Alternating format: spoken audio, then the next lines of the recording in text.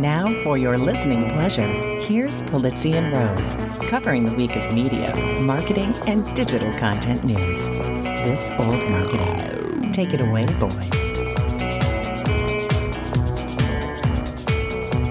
Hello, my friends. This is Robert Rose, and welcome to episode number 311 of This Old Marketing, recorded on February 17th, 2022. And with me, as always, my good friend, my colleague, and a guy who definitely did not take a knee at the Super Bowl halftime show, Mr. Joe Pulizzi.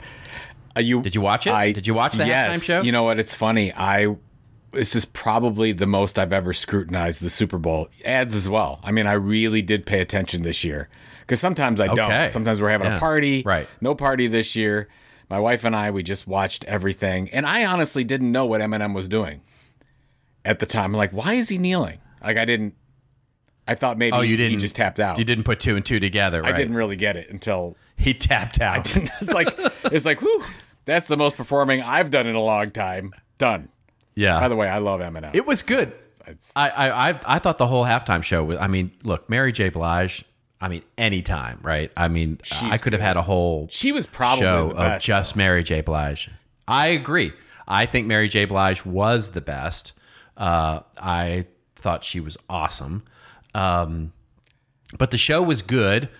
Jay Baer on Facebook, he posted this thing that just made me sort of chortle out loud. Where he said, he said they assembled the entire Barbie dream house on the I field. know, isn't that crazy? I was like, what? I loved it. Yeah, what is going on? The whole thing. I guess. for, I have a couple comments on on the halftime show. First of all, I didn't think it was one of the best of all time. I thought it was good. No, I agree. I don't think it's agree. you can't Nowhere- put it didn't even come Prince close to and Prince. some of the other ones. Yeah, I'm sorry, you just can't. yeah, uh, that's right. So so and and I have a problem with there was a lot of the I think this was covered a little bit in the news. There was a lot of the lip syncing that didn't sync up so well. And That's and right. that that always bothers me. Like even Yeah. now Mary J. Blige, she did those two songs together. The first one she was sort of singing over, you know, her own voice, so you knew that was going on. But the second one almost seemed live to me. So I maybe maybe it was. It was fascinating. But what the heck? I think the second song she was singing live. Yeah, I think the second song she was singing. The music was obviously pre-taped, Sure. but but the but the the the I think she was singing over it live. Yeah, and I think that's for the most part what was going on. Even when you were seeing people on stage playing instruments. You know, They're not I didn't see a lot of those instruments. th- They, There's yeah, no- they're not plugged really- I into mean, anything. None of those things. They're not mic'd up, right? They're- none of them were mic'd up. Okay, all. what Yeah. what was with the weirdest thing? I and I loved that Fifty Cent was out there, but what the whole thing that he that he came in hanging upside down was just strange. hanging upside down? Yeah. was just str- did you did you know that I sat next to him on a plane? Did you know the Did you? story? I have a picture of it too not- because he I- fell asleep next to me. And I took a picture with me like smiling and 50 Cent next to me. And we, Fifty Cent next. to that you. was when I had all the airline miles and I was getting first class everywhere. So just so you know, not so you could so the reason why I was next to 50 Cent. But we walked off the plane together and we go, of course, we both have to go to the restroom. We go to the restroom. sure. He comes Yeah. out of there and there's a couple fans waiting for him outside and say, Hey, 50 Cent, can we get your autograph? And he just says, No. And he walks right by, right by him. And I'm there. I'm like, I'll sign it. of course. Nice. like- oh, that's They're good. like, they're You're like, like, who the I'll heck are you, for you. Mr. Orange? Get out of here. Oh my but god. But I just thought that was Funny. Have you read it? Did you ever read his book? no. What is it called? Twenty five cent? Uh, no. Goodness gracious. I don't know. Galore from No, you what- today. what- what um, is it- it- I I can't remember the title off the top of my head, but um, it's basically his autobiography Okay. where he talks about his business investing and how he you know his philosophy on it's a it's actually a really good book um, and he talks about his bit and one of the things he talks about of course is you know being stanky rich um, and I have to tell you that so my own my only connection to 50 Cent is my wife and I have one of our joint savings account you know you can name your accounts in our online banking Yeah. and one of our little savings accounts is called Stanky Rich. yeah, we call it the Stanky Rich account. It's always like, the oh, where are you putting that check? Connection. Yeah. It, Yeah, The, the weirdest there's some so many weird. So, anyways, I like the halftime show, but the fact that they had Dre sitting in front of what was supposed to be a turntable in a production studio, pretending to produce, Yeah. I didn't. Yeah. I didn't like it. It's just weird. You didn't have It to do just, that. you know, I mean, I think, well, here's the thing, you know, at some point there's a production meeting, right, where they're all sitting around going, look, we got, uh, was it five? Five of them? Eminem, Mary J. Blige, Dre, one didn't know. Lamar. Yeah, Um, uh, had Kendrick Lamar. that's it. Yeah. And am I missing anything? Yeah, there was some Anyway. other guest that wasn't that wasn't announced ahead of time. Oh, Snoop. Snoop. Well, Snoop is the of course yeah, Snoop. Snoop was the main Yeah. one. Actually, he did more Yeah. than anybody. And and uh, yes, Snoop smoking weed before the thing. It's very funny. Like, why is that a news story? Of course, he he's always Um, of said. course he did. Yeah, he- By the way, it's legal. It's it, here in California. It's it's he wasn't doing anything illegal. He was you know basically you know drinking a beer uh, for for for it lack of a better hurt. metaphor. Yeah, it didn't seem to hurt his performance. It, So. it- I, if anything, I think that helps his performance. Uh, uh, Maybe. you know, but yeah, I think you know with fitting that many people into a you know I I I, don't, I didn't measure the time, but I'm, I'm I'm assuming it's probably 22 minutes or something like that. I mean, it's very short. It's a Sure. very very short little show. You just can't you can't do that much, right? you know you just you have to keep things really simple and uh you know cause so there's no miking up everybody and there's no getting instruments going and there's no you just don't have time you just don't have time for that level of setup and so it, it's it, i think they did the best they could with getting that many people in and trying to make it sort of a you know an homage celebration to all of the classic to hip-hop, yeah. so I- I applaud for what they tried to do, um, but I agree it wasn't. You know, it started to. You know, it started. It started to look a little cheesy when they're like pretending to do stuff, and it's like, yeah, no, you're not. You're not doing that. One thing I don't understand, maybe you know and you, you read up on this, but they didn't play Nothing But a G Thing, which is was the one that went was so popular at the time when it came out. That was it. That was everything. I remember I actually had that CD with the marijuana leaf on the cover, Dre's Yeah, Dre's album. sure. And did they not play that because Snoop didn't own the rights to Death Row Records at that time? Because that just happened. Uh, that he's going to Yeah. turn that into yep. an NFT label, the first NFT label, Yeah. if you will. Um, That's right. So, Yep. do you know anything about that? I'm surprised that they I didn't play the most popular song they've ever done with each other. I I don't know why they didn't choose that song. I mean, I like that they gave the homage to Tupac. Yeah, Um, and California makes sense. know- I mean, he that was Yeah. he, he was on that song, that track, so. Right. So I, I- you know, I, I I don't know why they chose what they chose. Um, but basically, you know, I, I yeah, who knows? It's so knows interesting, though. I mean, there's so there's a number there's a number of songs that they could have played, right? That they could have that they could have played, but they didn't. Who was the who was the guy that performed last year? Do you remember? That's funny. I don't. yeah, it was the one more the Gen Z millennial whatever. D- d- Nobody remembers it because we're not we're Gen X and we don't we don't know these things. right. But this That's one right. the I don't think it's I think they did this purposely to focus on a halftime show to go after the largest possible audience and that it really is Gen X right now with when you look at football fans and they they basically took that halftime show and said let's just go right for the sweet spot. Those that were born between Did you see- 1967 and 1980, this will be perfect. Well, yeah. Did you see the? There was a lot of social media going on about that, where somebody posted up that said, if you. If you basically, if you really loved this year's halftime show, it's time for your prostate Or exam. time for, I saw it time for a colonoscopy. Yeah, exactly. Yeah. And then you know what? It's true. It's absolutely true. Because what, what what year did I get the the chronic? I bought the chronic. I think it was in 1992. Is that right? That'd be about right. Uh, yeah, it's about right. Yeah, 92, 93. I had it in college. Uh, I would say ninety-one. I would go maybe the other 90 way, okay yeah. maybe it was 91 um i mean i remember it's funny because i remember 92, 93 for the Chronic, and I had that DVD, the, not DVD, CD. And then in 91, I had Red Hot Chili Peppers, uh, Blood Sugar Sex Magik. So those, you know, it's funny how when you're that age, you remember them by. by the albums Right. you purchased, they don't. People don't do that anymore. Exactly. Nobody buys albums anymore. 1992, by the way. 92. Chronic Okay, was so there released you. December, de- Christmas, basically Christmas 1992. Yeah, it's funny. And the reason I remember it so well is because I had just moved to Los Angeles. Um, you know, I moved to Los Angeles in 1987 and I was going to be a musician, right? And, you know, I played piano.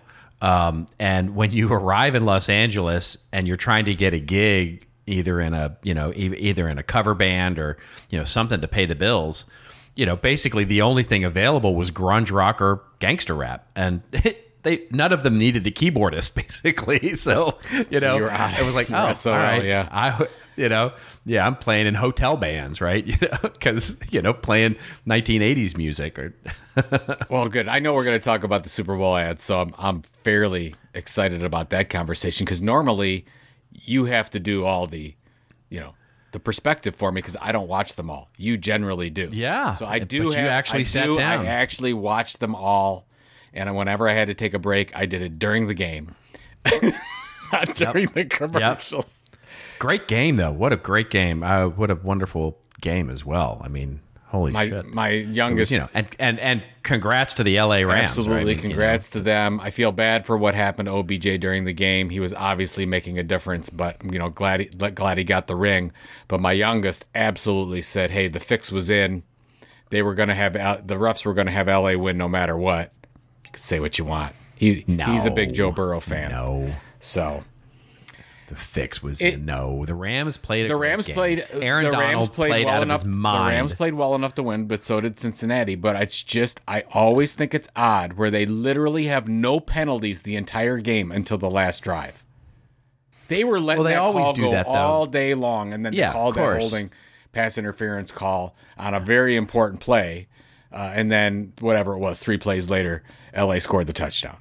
So That's right. just you know, just Yeah. curious. I don't know if the Uh, call you came know, down yeah. and said somebody throw a flag, but it was thrown. Yeah. I think the OBJ thing, by the way, is that to me is a little karma coming back to, you know, if I'm honest, right? In, in other words, I, you know, and I'm glad he got his ring too, but ultimately, I think that's a little bit, you know, because the whole narrative that got played, you know, and this, of course, was Collinsworth, um, you know, which annoys me to no end as well. But the whole narrative that he got thrown out of Cleveland is like, is is it was so tired to me. Like that whole thing was just like, no, no, no, no, no, no. He didn't. I mean, no, no, that's not what happened. And you know, portraying him as sort of a victim that got kicked out because he, you know, whatever. It it was like, no, no, he, he, you know, Well, Al Michaels did it too, and you're right. I mean, and we talked about this on the show, whatever it was, three or four weeks ago.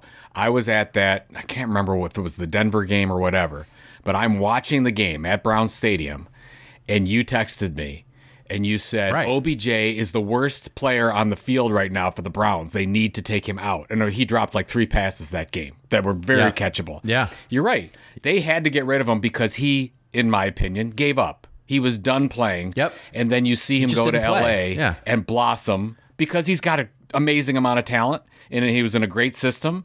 And granted, the Ram system is was way better offensively than ours, but you're right. I think maybe they both gave up a little bit on each other, and I, I Yeah. it's weird they did That's play right. that, and I was sick of hearing that during the Super Bowl. I'm like, come right. on, you Uh, were just there. The narrative was wrong. yeah, you right, saw it. exactly. So yeah, yeah.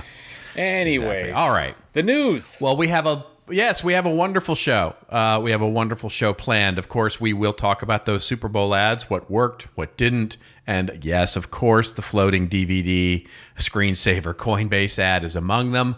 Um, we'll also talk about Spotify. It's only been like four minutes since we've talked about Spotify, but they have uh, made some major acquisitions uh, in the last week. Uh, Podsights and Chartable uh, making a play for podcast measurement. and We'll talk about what all that might mean.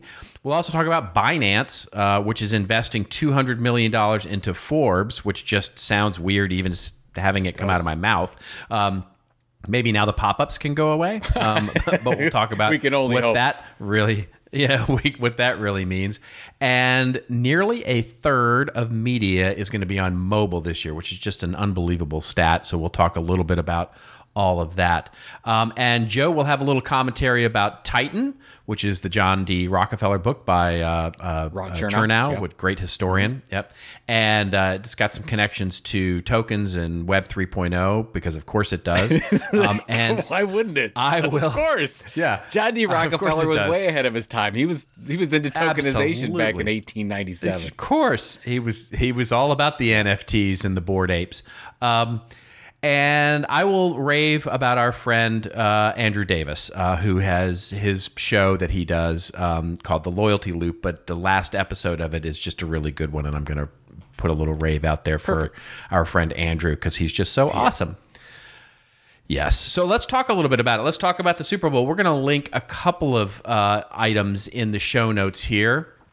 Basically, you can't miss this. I mean, if you throw a digital rock, you will hit a article talking about the hits and misses of the Super Bowl. We're going to link to one from Marketing Dive, um, which talked to about how the Super Bowl ads this year seem to stay basically to an old script, um, which I totally agree with. The idea of just you know featuring some B level celebrities in all of them. So many celebrities um, made an appearance um, and uh, talks through some of the things that worked, things that didn't work, you know, and will certainly be a nice uh, companion piece to what we'll talk about. And then we'll also talk about, uh, link to one particular um, uh, article from The Verge, which basically talks about the wonderful Bitcoin uh, uh, based, uh, or I should say, Coinbase uh, ad, which was basically just a bouncing DVD screensaver. Where do you want to start? Do you want to start with what worked and what didn't, and then talk about No, let's the let's talk. I, Coinbase I would, thing? Or? I'd,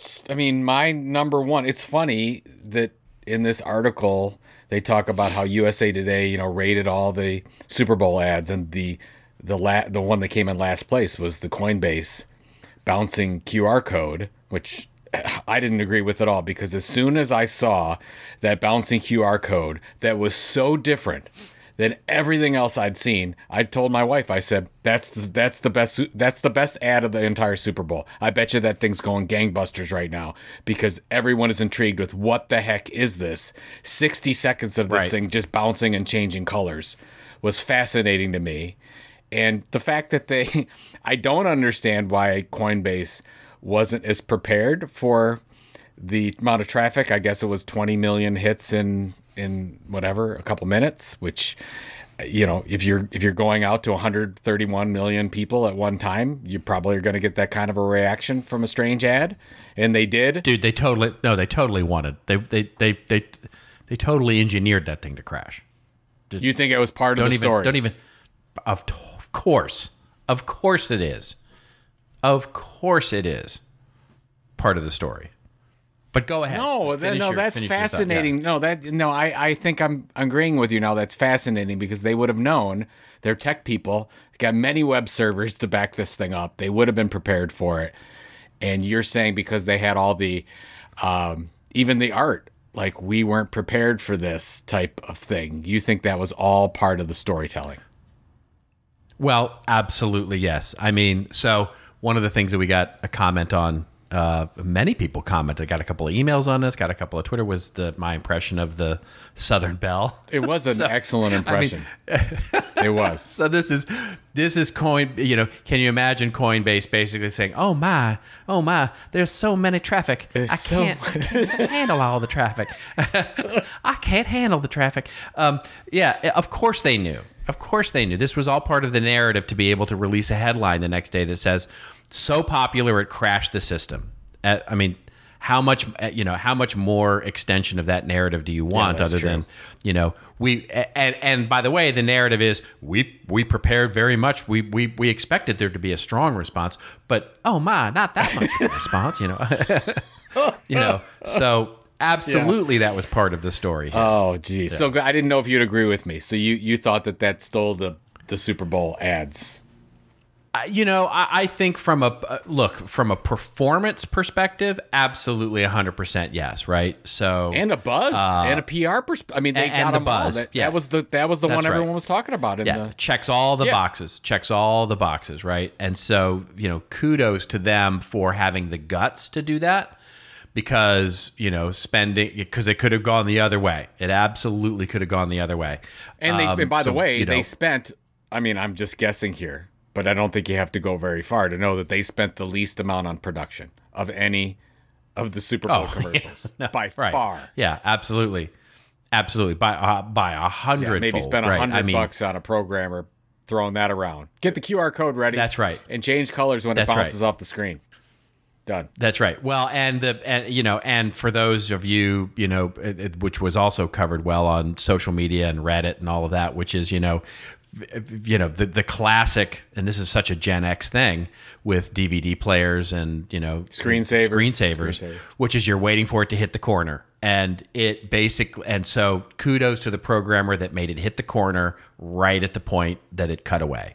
I mean, it's it was genius. I mean, that's just that's just a little thing that's just like you know a little a little fan service there that you just Yeah, have the, to the, love. the so, Gen Xer yeah. crowd probably didn't realize the whole about the whole corner thing like we do either. I don't know. I don't know if it's out there in yeah. popular culture, like, or we just play it up that Oh, way. it is. Of course, it's out there. I in popular yeah, I've seen the. How many they've done it at um, you know they've done it at soccer matches and football games and things like that. So you see that Yeah, as Yeah. well. Yeah. So I, I thought kudos to to that team. Uh, of- I mean, of course, everyone called it the crypto bowl of advertising, but Coinbase won, in my opinion. But well, how about the other ones? Yeah. What did you? Did you have some favorites? So, some some ones that I thought it was actually a pretty. So overall, I thought it was a pretty weak effort overall. Um, other than sort of a couple, I think there was, you know, every year seems to be, you know, it's a little bit like, you know, college, uh, you know, draft prospects, right? You know, so is it going to be a strong year or a weak year? And I thought this year was a pretty weak year um, overall. But but I would say the ones that I really liked. Uh, I think probably my favorite of the technology ones was the um, Larry David ad Yep. um, of the predictions. I thought that he, they captured the the culture really well right now about what's going on with NFTs and Web 3.0 and all of that, and sort of the predictions through the year. And of course, it's classic Larry David stuff, which was very funny. Um, I thought the Facebook's Meta thing with the sort of Chuck E. Cheese kind of thing was ridiculous. oh, Um, like ridiculous I- in I a bad way. not- You, you thought, that, ridiculous in a not yeah? good way. I think Yeah, they just I mean, confused people even more. Yeah, I think exactly. I thought there was a good idea there that was not executed particularly well. Um, and I thought the Rocket Mortgage Barbie thing uh, uh, so was was pretty good. Yeah, I like the Uh, I, thought like the was- Anna Kendrick deal with that Yeah. one. I thought that was pretty good. Yep. And I thought the BMW electric with uh, you know the w- sort of you know classic OG uh, Super Bowl ad, the you know the BMW electric car with uh, Schwarzenegger and um, um, blanking on her name. Uh, ah, I'll think of it here in a second. But uh, that, I thought that was cute. I thought they because they they did it through a couple of different uh, commercials. They sort of you know they had a long, basically a longer version that they split up uh, over a couple of commercials. Those were the notable ones to me. Um, you know, a- a- the Sopranos one was also pretty good. The Sopranos, you know, sort of uh, with the Ford electric truck, uh, uh, or excuse me, Chevrolet electric truck, um, which was uh, which was also I thought really good. I, I thought they could have paid that off in a bit of a bigger way, but but and, you know, and and to me, the sort of weakness of all of them was they didn't they didn't really pay it off. Right? It was sort of like look how cute we're being with these celebrities, but then there was no like payoff, right? There was no like, you know, and go here for this or go there for that or or pay it off with a, you know, and there was a lot of uh, content ads, right? You know, for new series like the new Law and Order and stuff like that that was also there. Anyway, that was that's those are my sort of overall thoughts. What about Yeah, you? I was with you on. Uh, I loved the Larry David commercial, and here's the thing. But this is why it's different than Coinbase. I I, I only remember the Coinbase one. I don't know which crypto company was that. FTX who sponsored that. Yeah, it FTX? I don't remember. I think the message itself was fantastic because it goes to the whole doubters about Web three. I and I know it was played beforehand, so I'd, I'd seen it before, but I think that when for the Uber Eats ad, when Gwyneth Paltrow eats the candle and says, "Hmm, like it's good," I think it's great. I like Yeah. I and when I forgot the name of the the actress at the beginning, but when she says, "Can can we eats this?" I like. I just I think I'm. I, um, is this Lord of the Rings? Like, what are we? And I just think it's so funny when she says that every time. I can watch that commercial over and over. I think the FTC actually had to issue a press release that said, "Please don't eat soap." because of I that know, I commercial. know. They actually they actually posted a press release totally- to say, I "Please don't eat soap." I totally agree with that one. And then I liked the Keeping Up with the Joneses, uh, the Toyota one. Well, with all, Ah, that was cute. Yeah, and I yeah, like yeah, Tommy. Lee Jones. And then I was trying to guess who that was gonna be. It's like, okay, you got Jonas uh, coming up there. At the ha, Uh, yeah, it was it was it was funny. cute. I did. There had to be a record number of celebrities this year. Oh yeah. Had to be because some of these, some of them had six, seven, ten celebrities in it. Oh time. yeah, there was the one that had Shatner in it, and um, Oh, that's the Planet Fitness one or whatever. They the Planet Fitness one. It had like you know four. Mm. celebrities in it. Yeah. Yeah. Yeah. So, anyways, again, seven point three million dollars. That goes a long way. I didn't do my post this year that I always do about what you can get for a Super Bowl ad, but man, from content creation standpoint, you can get a lot. And Well, you t- we talked about it. We talked about it two episodes ago, right? You could have had one of those Super Bowl ads, or you could have bought the game Wordle, right? You, and so, which would you have? Which would you that's have a done? really right, yeah. a That is that's probably the best way to look at it. Like you could buy an entire media company with you know a million people that are already Yep. subscribed, opt in, and you have the data, or you could interrupt Yep. somebody, or hopefully not interrupt, hopefully entertain, and hopefully do something. I don't know. What do you what do you think about the this is 2000 Super Bowl all over again with your you know pets.com thing and and the whole Web3 crypto thing? Do you think it's different? I, you know, I, I do think it's different. I don't think it's, I, I, you know, every year has a lot of, you know, and even by the way, there was an ad that made fun of that, right? It was um, E Trade, I think it was that that put out an ad that basically had the babies coming back, right? The the the talking babies, which of course was a great classic dot com uh, uh, Super Bowl ad, and they brought it back. So I think you've got a lot of technology companies that you know are every year that are spending for big awareness campaigns. Um, and I don't think that this year was any more or less of that. You know, I mean, there was. It's a little more focused on crypto just because crypto is the topic of the day at, at the moment. But you know, I, I I think when we look back, whatever five years, six years, seven years from now, we're not going to point to 2022 as sort of like in the same way that we point to 2000 or 2001 where this I think 2000 was sort of the the the the, the peak um, of the you know dot com Super Bowl ads with the pets.com Yep. and and those kinds of things and and you know but then in 2000 and 2001 almost all the ads were dot coms right it was it wasn't even balanced um, and so I, I think we're not going to. I, think it is different in that from that perspective. Yeah. know, will these companies survive? Some will, some won't. But it's not.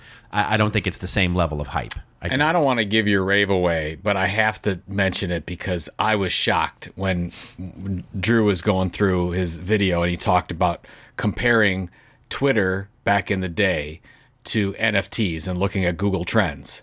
And people think right now NFTs is is in this, you know, huge uh, you know, phase where it's going to drop like crazy, like dot .com did in 2001 or whatever. And then he does the comparison. It's like if you look at it, you know, NFTs are bare. It's an early, early, early adoption phase, like from a from a search standpoint. And they, they says, oh, this is probably Twitter around you know 2008, 2009. And when you it gives Yeah. you perspective to say, yeah, we're not really in the crazy times yet because still so many people are just learning about this thing and most people don't have an NFT yet at this point. That's most right. people are not involved That's in right. any way in Web three, or know about it, or really care about it, or or know about it as know- expensive JPEGs, yeah. and that's probably That's right. Yeah, That's right. And so there is absolutely a, you know, a a you know, it is a very vocal minority right now. You know, and I can remember in those early days of Twitter, et cetera, you know, how you know the inside baseball people were screaming about how amazing this thing was called Twitter, and and, and most people were like, signing "Are you up kidding me? This is stupid." right. I remember signing up for Twitter. I signed up for Twitter as I got off an airplane um, on a business trip because my colleague who was on the business trip with me had signed up for Twitter, and he was like, he he was like incredulous that I hadn't signed up yet. He was just like completely blown away that I hadn't said this was 2000 end of 2007 I think or Yep. early 2008 and he was just like I can't believe you haven't signed up for this thing yet. This is this is going to be the hottest thing ever. It's huge and I'm like all right, let me sign up and I signed up for Twitter and I'm like I don't get it. I don't I don't get mm-hmm. this at all. And I it took me a while to get it and when I would talk about it with, you know, normal people, let's say those that are outside sort of our realm of digital marketing and technology and all of that, they would be like, "That's the dumbest thing I've ever heard of. Are you kidding me? Talking in 140 characters? What do you? What? That's ridiculous." And it became a thing. It, it, it you know, I mean, it'll get to our conversation. Um, you know uh, uh, that we have all the time, which is you know we just don't know yet. We don't know what the- Absolutely. what my my my son, my youngest, he is in awe that I started in December 2007. Like he's like, "Are you? Oh my God, you're one of the originals." And I, and what's funny is at the time when I signed up at the end of 2007, I felt late. And I was one of those idiots. Right, I was one of those idiots that linked up my Facebook and my Twitter so that my tweets went on my Facebook page. Oh And, yeah, and I still have. Yeah. If you look at, at my original uh, Facebook post from 2007, when I started that, they're all tweets. And it's like, who? What idiot would do this? Well, we didn't. I didn't know. I was just. I was one of those guys where, hey, just spread it around everywhere. Like, where where I get audience, I'll take it. it it's That's right. Crazy. So It is absolutely nutty. All right. Well, have we run through our? Have we run through? I through? think we've run through run through enough. Super but now Bowl I'm a little depressed that my Twitter account is 15 years old. I just checked mine. By the way, it was I'm, I joined tw- December of 2008. You were So- a year behind me. What were you doing? I was a year. be- I was not. I was looking at you, my friend. I was looking. Oh, we didn't even meet the- until. Wait, maybe we did. When did we meet?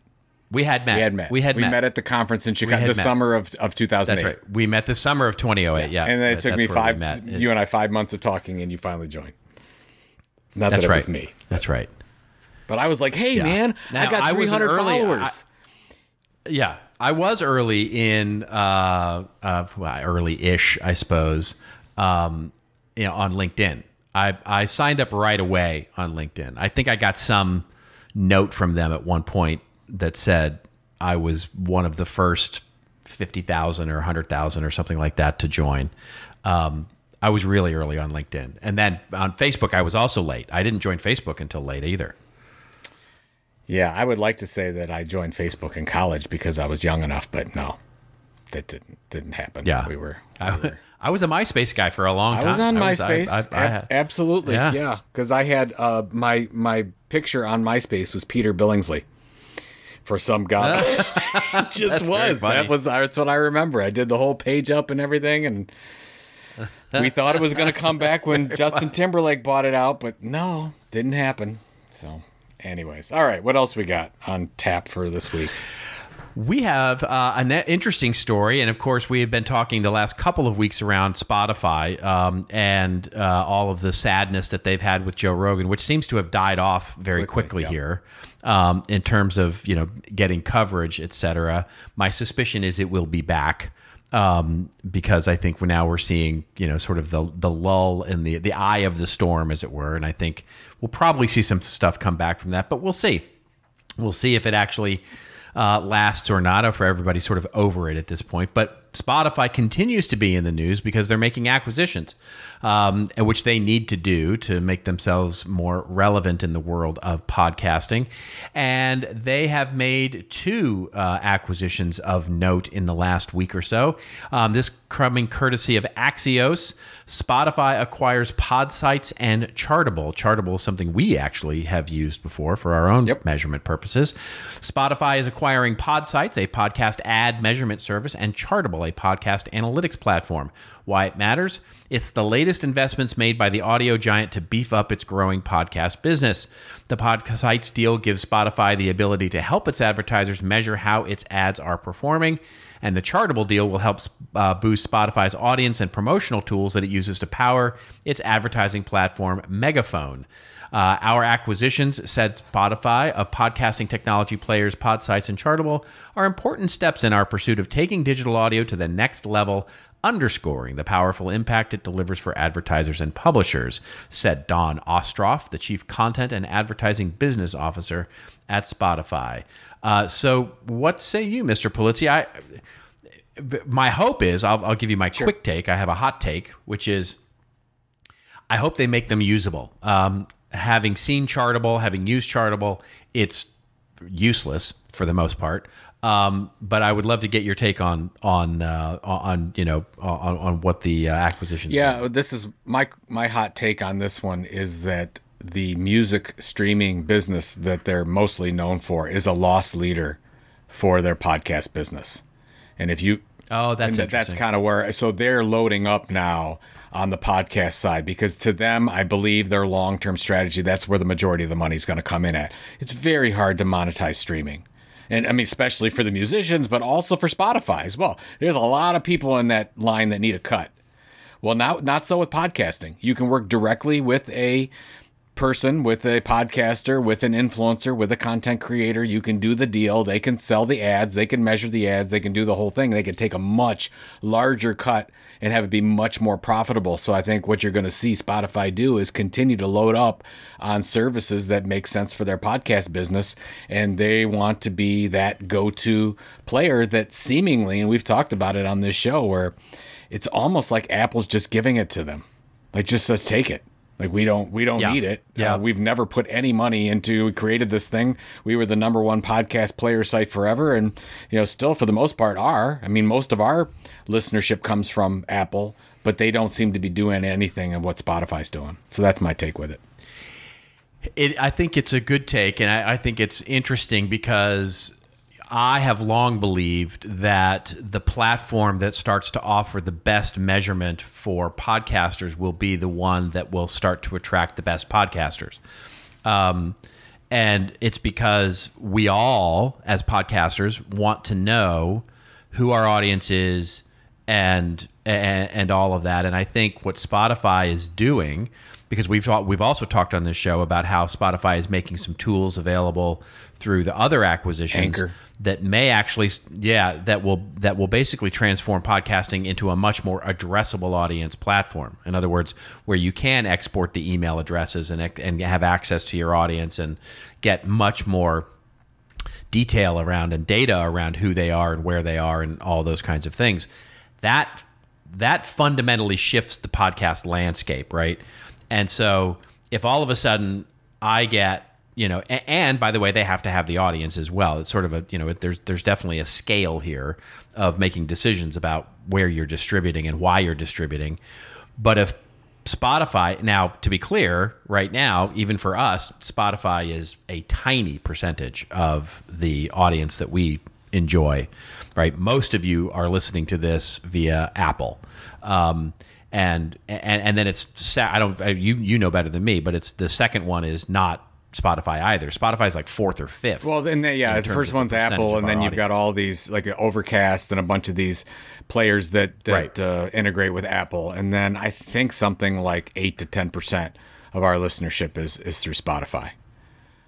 So Right. not a big, not a big. So if Spotify started to, if Spotify went on like a binge acquisition spree and started to buy some of these players up, these distribution layers up, that would be really interesting because if they can capture the distribution in a way that's meaningful and offer podcasters the true measurement tools and offer them the addressable audiences, that changes the game, right? And like you said, Apple seems to be just ceding this territory altogether. Like they don't really seem to care that much. Um, and I think this, you know, that would really get into your uh, get into your idea that basically Spotify is going to start to use music as a bit of a loss leader here for the moneymaker, which would be paid, you know, paid for shows. And, and as far as I can tell, Based- I mean, you know, yeah, you tell me if I'm right about this one, but Spotify is the only one that has end-to-end horizo- horizontal from creation to distribution.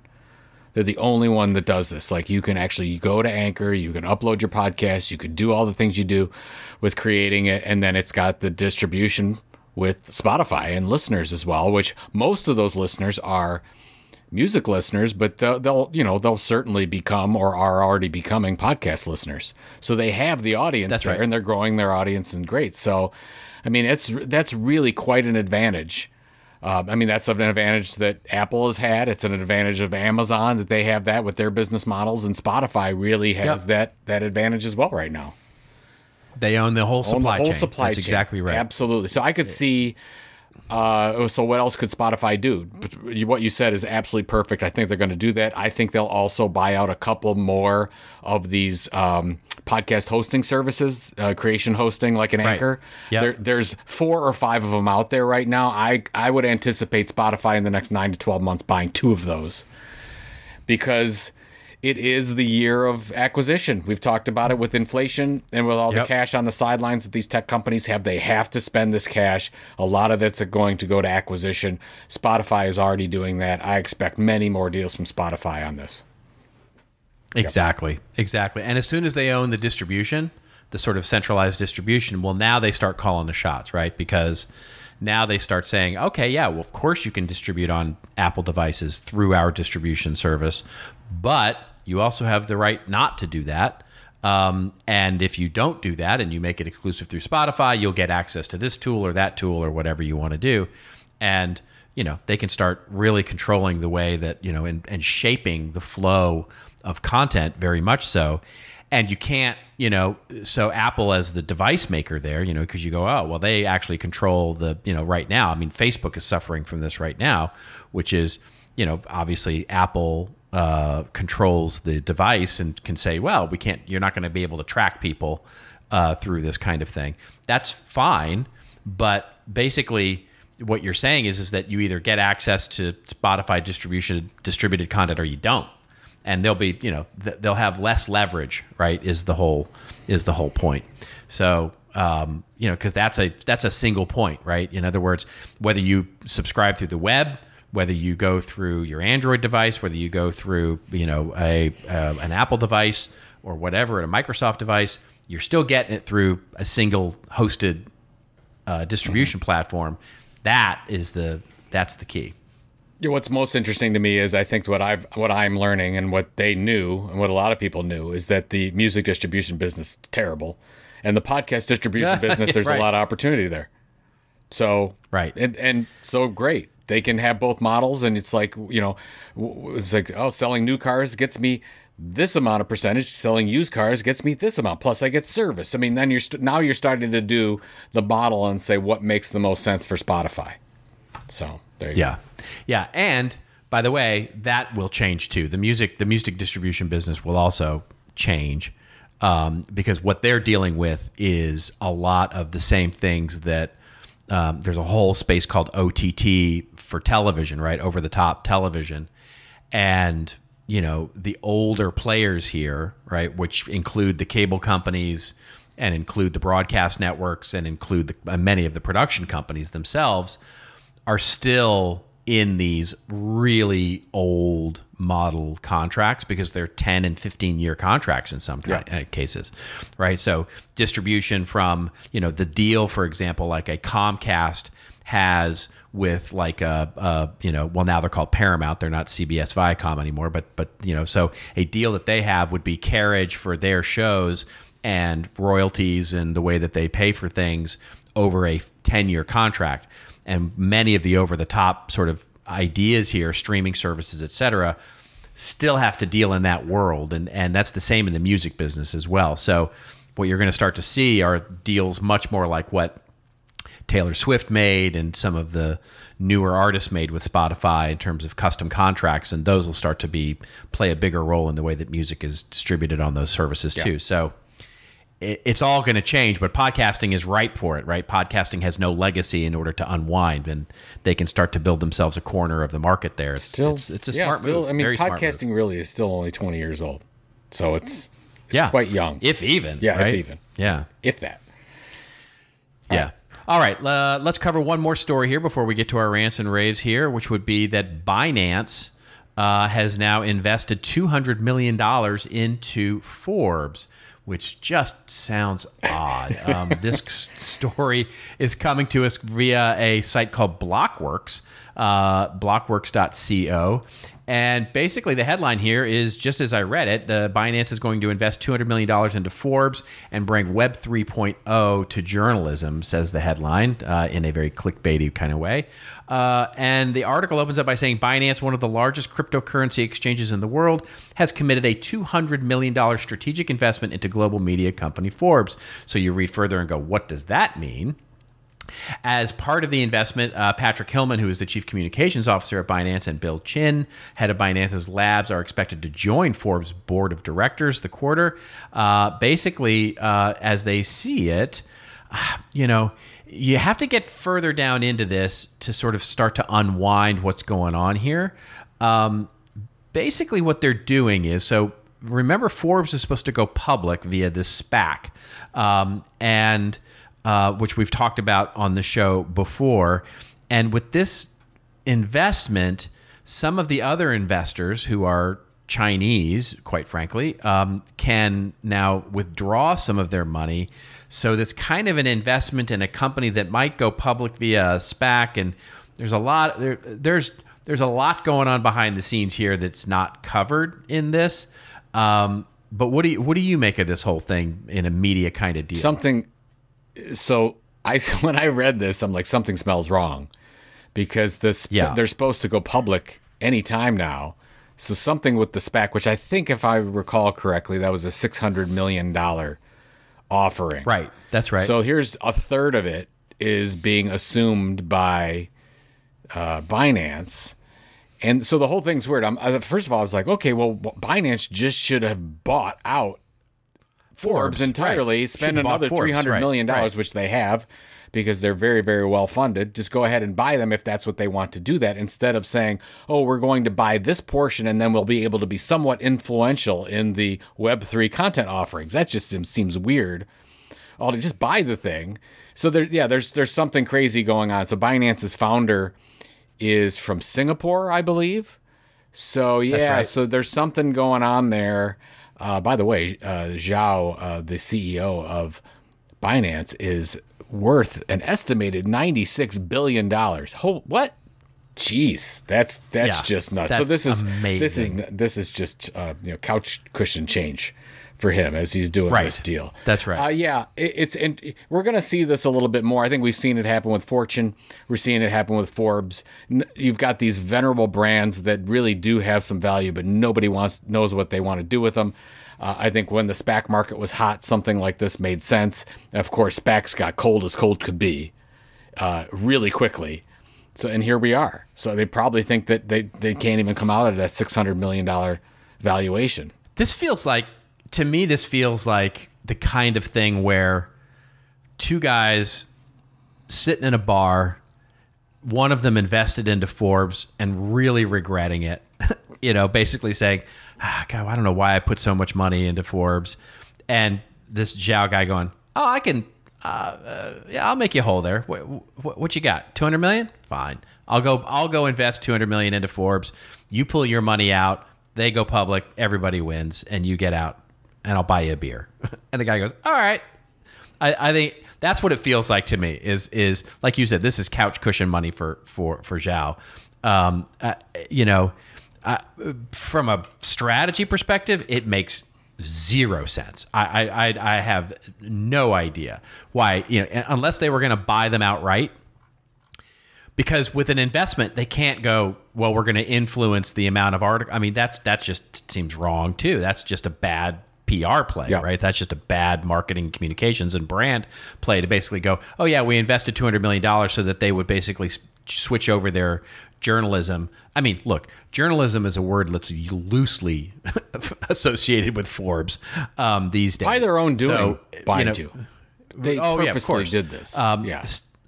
That's right. So, I mean, now from an SEO perspective, it's got amazing uh, SEO uh, and gets a lot of attention and a lot of traffic. But you know, let's be honest here. It's not. It's not the you know venerable business journalism brand Yeah. that it used to be.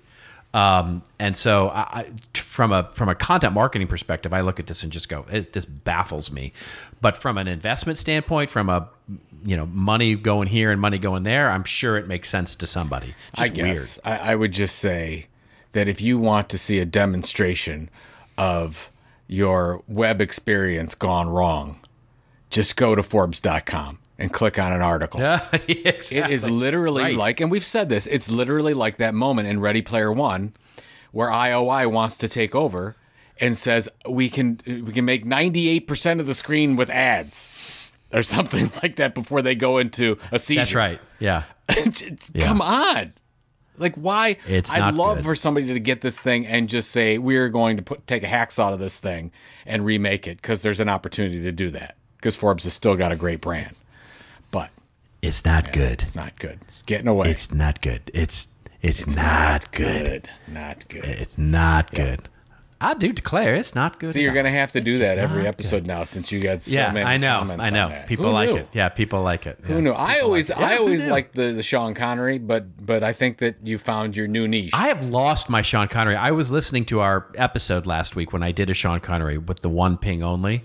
Um, and I've just I I'm gonna have to practice it some more because I just I've lost it. I used to have great okay, Sean I have Connery. to. I have. and well, I just I have to tell you something. When when you're drinking, Yeah. you've got it spot on. So you, so you, if you Yeah, want to well, do it there's for the that. show, Yeah, you're gonna have to get a little tequila. And I, yeah. fine, fine. I'm I'm more than happy to to, to commit to that. Um, all right, ladies and gentlemen, it is now time for your favorite and empirically proven uh, favorite part of the show, our rants and raves, where Joe and I go off in a little bit of a rant or a little bit of a rave over something that makes us feel like we've uh, performed at the halftime show of the Super Bowl, or quite frankly, uh, did you see the um, the virtual reality one? The the the sort of the some of the clips from the the VR No, experience that Verizon No. sponsored. It wasn't that great. I mean, it, it was it was weird. It was just odd uh, to me. I mean, it was kind of neat to see it from their point of view, from the like inside the room where Fifty Cent hung upside down. You got to see it from Oh, that got point it. of view. Okay. it was just odd. It was just wasn't very good quality, and it was it was just it was just weird. Um, anyway, to, but but yeah, make us feel a little like that. So, uh, shall I go first since I have a very quick thing? yeah, go ahead, go ahead. Mine's quick too. Um, So, yeah. Okay. yeah. So yeah. So we talked about it a, a few minutes ago when we talked about Andrew Davis and, and and his show. So Andrew has a show called Loyalty Loop, um, which is just he's been doing it for a couple years now, um, and it's fantastic show. I mean, it's it, every time I see it, it makes me jealous because he's just such a. I mean, he I, I know for a fact that he edits it himself, he shoots it himself. He, it's a one man thing, um, and it's it looks every bit as good as any TV show you'd ever see. I mean, it's just really well done, um, annoyingly so. How It is well done annoying. it is, quite frankly. Um, um, and but this month he has uh, he's talking about the what he calls the next big thing in his episode, his loyalty loop episode, and he starts out by saying he's got FOMO for those who are sort of diving into the Web 3.0, the NFT. He doesn't understand it. He's overwhelmed, but he definitely has FOMO because he sees his friends all getting into this uh, and getting their own creator coins and doing all these things. And then he wants to talk about a framework. And he has this framework for basically how you can keep up and how you can, you know, sort of uh, think about things, these new evolutions, these, these, you know, and keeping up and those sorts of things. And it's just really good. It's just, it's just, it's just, I mean, it's classic Andrew Davis, but it, but it's just really wonderfully done. And I just have to give it a big shout out because it's just, I, I, I, I admire him so much and I admire this piece of content that he did so much. I wanted to give it a, a big rave. So and, there and, you go. And just he go gets a lot it. of views on it, but he should get a million more views on his shows because they're so good and helpful Totally. and professional and yeah. e- everything about it is just disgusting because I don't think I can do that. Well, it's, it's Well, that's exactly right. It's, I mean, it, you know, you go watch that, and you go, oh, it it, it, it makes you go, uh, I, I, I now I got to go do my little thing. you know what I mean? It's like now I'm gonna go, I'm gonna do my little. And but to me, it it, it it's sort of like ah, that's that's what I want to shoot for. Anyway, from a quality standpoint, and you're right, absolutely right. He should get a ton more attention than he It's gets so for good, it. so good. Um, and so hopefully, hopefully this helps a tiny little. But that's where we talked about before, where he did, and he he always he's probably the first one that really got me into Google Trends. And I use Google Trends all the time. I use it for you know audience research, and you do it look at look at what's going on from you know year over year. And when he did the comparison of Twitter and NFTs, it's mind blowing where we're at. We're so, we're barely anything with NFTs, so it's just it's a good reminder to to reset yourself and to say, okay, well, you're not late. You're probably really early, so it's a really good time to experiment and and uh, Exactly. and not get so so like in the in the dirt. Like I I have to hate this.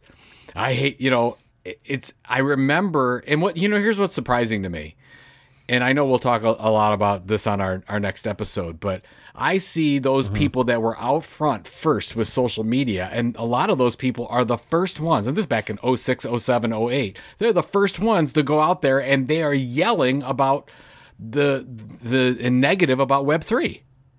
And I'm like, Yeah. you were the ones out there doing the same thing, and now you're you're uh, what is it? Because you're older, or you're what? You because you, got grandkids now? Like, what's the what's the deal? Why don't we keep an open mind about this thing? We don't know. We don't know. So, do we? Good stuff. Okay. Yeah. What do you got?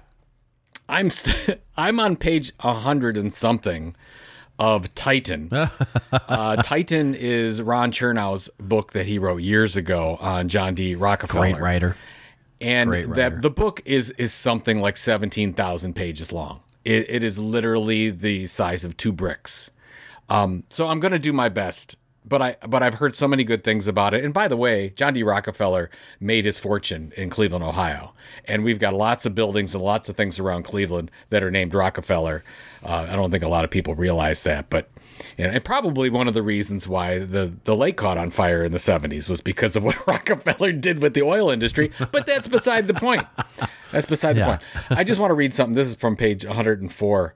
Uh, it says The elite Wall Street bankers preferred to finance railroads and government and regarded oil refining as a risky, untested business, nothing short of outright gambling there's a lot of in this section of the book where John D. Rockefeller starts getting into oil.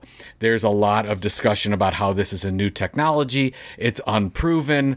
Uh, there was a lot of shadiness that people thought was going on. Uh, and I, I just thought that, oh my God, this is a hundred years ago. And we're going through this yet again with what's going on with Web3. And that's immediately what I thought of. You got Wall Street is shaking their heads. They don't believe in it. People don't want to finance these things. There is a lot of shady stuff going on. But among all of it, there are some amazing things going on and amazing creations going on. But a lot of people, a lot of us miss that. So, and that's what that's what was happening during Johnny Rockefeller's time. While everyone was looking at basically financing in the railroads, there was this huge thing about oil, and the cars were just about to explode. And they got he got involved in it with a number of entrepreneurs that weren't making anything and doing anything, and boom, they became quickly the richest people in the world um, it's interesting to see how that's when we when we look at Bitcoin billionaires and crypto billionaires, like we're seeing that happen before our eyes right now. So I just thought it was interesting. I don't know if I can get through the rest of this book, Robert. I just don't know. it's and and by the way, I read I read Long- his books are long on yeah detail. I for read sure. uh, ha- about half of Hamilton because, as you know, I'm a big Lin Manuel Oh, that Miranda one fan. That's my favorite. Yeah, I love favorite. I yeah. loved Hamilton the musical, so, and I so I watched Hamilton the musical first, and then read the book second, which most people probably did the opposite. Yeah. But again, he's so detailed, like knows everything. It's like, well, John D. Rockefeller's uh, daughter's uh, daughter dated this person back in you know 1942 and did this and went to the grocery store, and I'm like, oh God, I- Jesus, I didn't know need to know all that, but great amount of detail. Yeah. Well, I'm you know, so I'm I'm a student of uh, and spent about uh, five years um, in the early 2000s when I was actually uh, you know, so I, I I mean, I went down the rabbit hole of the American Revolution and just I've devoured every book I could on it. Just I really wanted to learn it. Um, and basically, you know, the the roughly the 15 years of that period, right? So roughly the, you know, call it 17, well, call it 30 years, 1770 to 1800, yeah. right? You the know, start so of our country. That's that's yes. really the period. Yeah. And I've, so the two, two books in there that are notable are Chernow's Hamilton book uh, and Chernow's uh, Washington, his his book on Washington. Um, they're amazing. I mean, they're they're they're just amazing books. But yeah, they're they're they're uh, they're adventures. Let's put it that way, because they are not short on detail. Yeah, it's like Go it's like uh, the answer to what did you do thing. last summer. Uh, you read, yeah, exactly. you read Washington. Read Ron Chernow is yeah. what you did. Yeah, it just takes some time. All right, good. What do you got? Uh, what do you got going on? Right this weekend, sir? I got uh, I got I got a lot of content to create. Um, you know, I got some promo videos I got to do. I got some uh, I got a I got a new episode of this show that I'm doing for uh, for a company called Contention.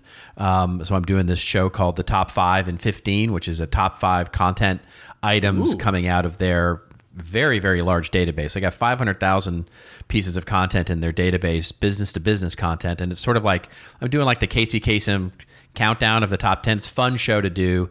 Um, so I got my second episode of that. I got to record uh, and do all that. So I'm going to be looking, of course, to Andrew Davis for inspiration. Um, and uh, yeah, other than that, just sort of relaxing and getting outside a little bit and uh, not watching any football because football, football, is, now done. over. It's now yeah, now you got to watch dark space of NASCAR sports, and golf and. There won't be any baseball. Olympics, maybe. yeah, yeah, yeah. You won't get to watch something. any of that. So, yeah. How about you? Uh, you know, we're we're just putting the final touches on the entire agenda for Creator Economy Expo. So I'm very excited to dun, get that dun, out there. Dun. We worked very very hard. I heard you added a new speaker. Uh, we did. There's, I there's added somebody else. I added maybe... a new speaker. Um, he's yeah. he's somewhat well known in the content marketing space. But no, not at all known in the content creator no, space. No, I'm so happy. Of course, I couldn't uh, do an event without having my wonderful sidekick Robert Rose a part of it. So thankfully you were available and you're going to be part of the yeah. extravaganza as well. But you know, we it worked really really hard to get a number of speakers from very diverse backgrounds and you know and of course you try to cover a little bit of everything we're talking about the business of content so we've got to cover tiktok and twitch and instagram and email and podcasting and i think we've done a pretty good job of doing all that so May 2nd to 4th, by I'm the way. going to show up Early learn. bird's coming up again. Early bird discounts learn, are going to go yeah. away soon. So, you know, we want to see you there. It's going to be fun. I'm really looking forward. Yeah. Well, you know what I like too? This it's a different audience than we've done before because a lot of the people are going to the Arizona Grand and they're bringing their families with them and they're doing like a nice little retreat getaway thing because you could do that. They've got a water park and the whole thing. So I like I like seeing that. Yeah. I like that people are going to bring their significant others and their kids and you know that kind of thing too. We've never really done an event like that before, so we will see. I won't be bringing my kids, but other people might. Right. Yeah. I, I, and I don't have any kids to so, bring, there so you there, you, there go. you go. All right.